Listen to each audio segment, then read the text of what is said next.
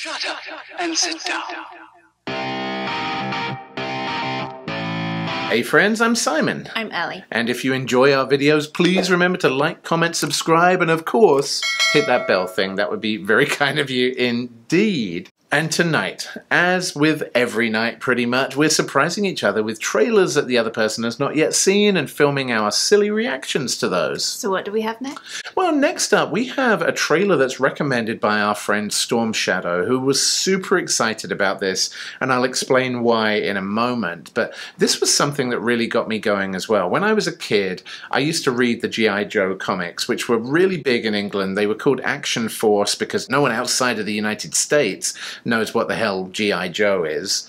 Um, but they were they were very very big. They had some great stories about Cobra versus the armed forces, and there was a character in there who I just loved called Snake Eyes, who was a ninja. He was trained by a ninja family. He gained some incredible ninja skills. Then he went to join the G.I. Joe crew and kind of became their silent assassin who would go on reconnaissance missions.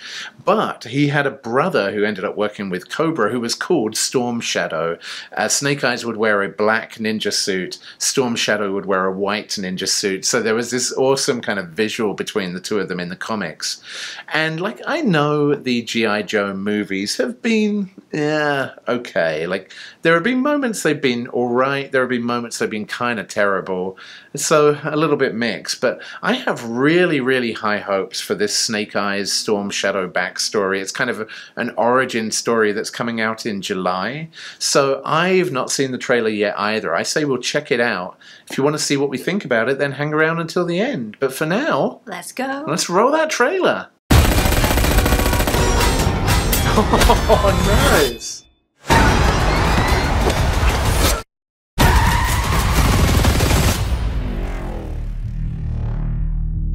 Wow. Every warrior has a beginning. I'm on a new level. For 600 years, our ninja have brought peace to the world. I'm I need warriors like you. Join us. What do I have to do?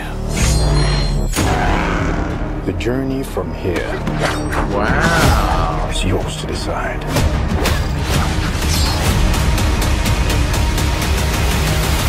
Oh. But that is just the beginning. I'm on a new level. I'm on a new level.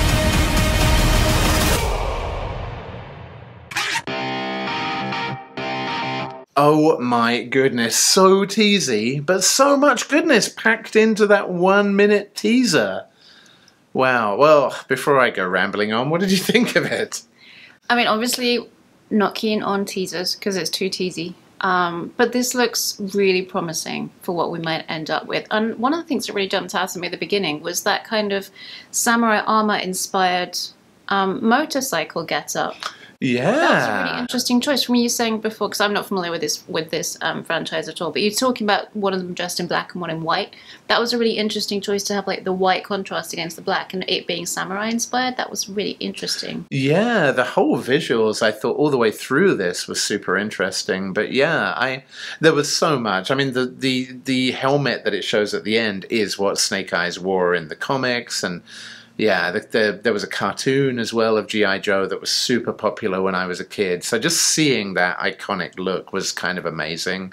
I feel like you know there are some things, and uh, kind of Transformers is an example where Michael Bay tried to modernize it, and people just hate that. People just want to see what they loved growing up. They don't want to see some fresh new modern spin on it. And I feel like this could do that for GI Joe. This could be that that faithful retelling and and really like I mean GI Joe was fine, but the Snake Eyes Storm Shadow rivalry was just such an awesome story that that's probably what most people want to see.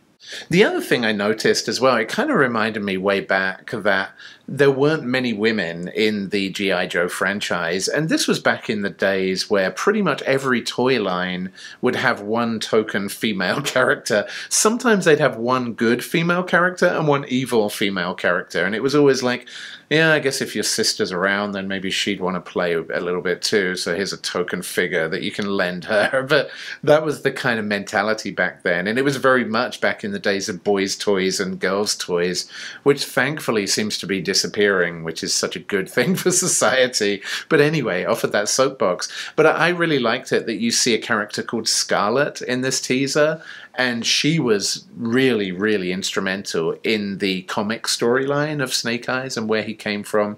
And you see, I believe, another character who is on the Cobra side as well. That I'm just theorizing, so I'm not going to spill too many beans there in case either it's spoilers or I'm completely wrong. But yeah, I really liked it that they seem to, at the very least, they have Scarlett and Snake Eyes and Storm Shadow probably a bunch more characters coming. So this could be the G.I. Joe movie that people have been waiting for for a very, very long time.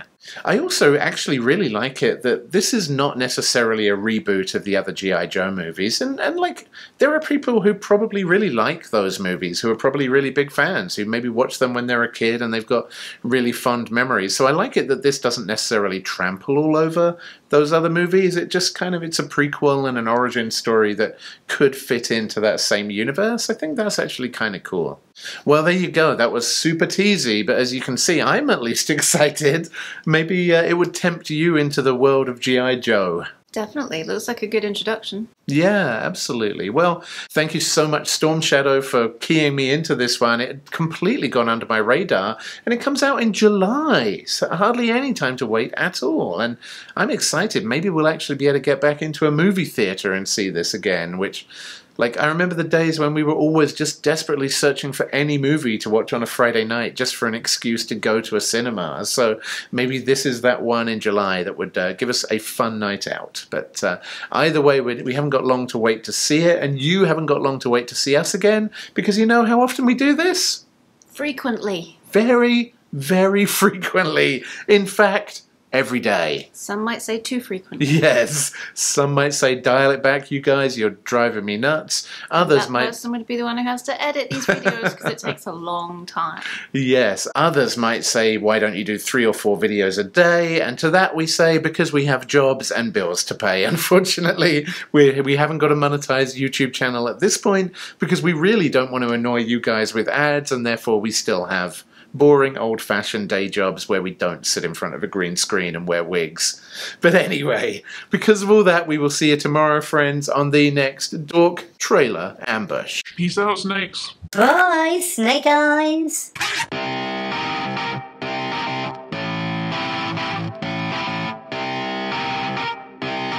Shut up and sit down.